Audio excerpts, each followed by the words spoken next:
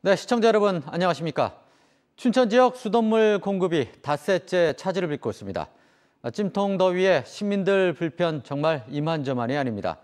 아직 공급이 안 되는 곳도 있는 데다 수돗물이 나와도 수질을 안심할 수가 없기 때문입니다.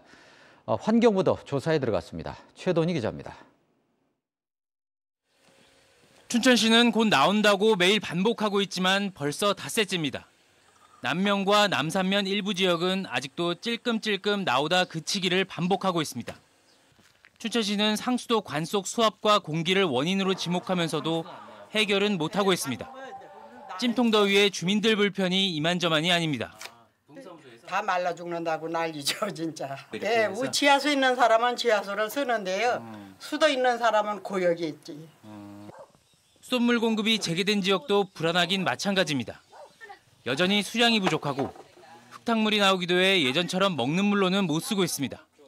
나오더라도 못 쓴다고 하더라고. 물이 아무래도 좀 처음 나온 건좀 약간 흙탕물이 돼갖고 이런 가운데 이번 대규모 수돗물 중단 사태와 관련해 환경당국이 점검에 나서는 것으로 확인됐습니다.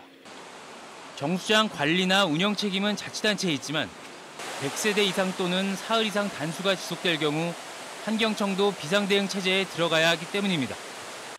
원주지방환경청은 물관리 전문기관인 수자원공사와 함께 기술적 행정적 지원을 하는 동시에 취수부터 정수, 공급까지 사태 전반과 춘천시 대응 등에 대해 점검을 벌이고 있습니다.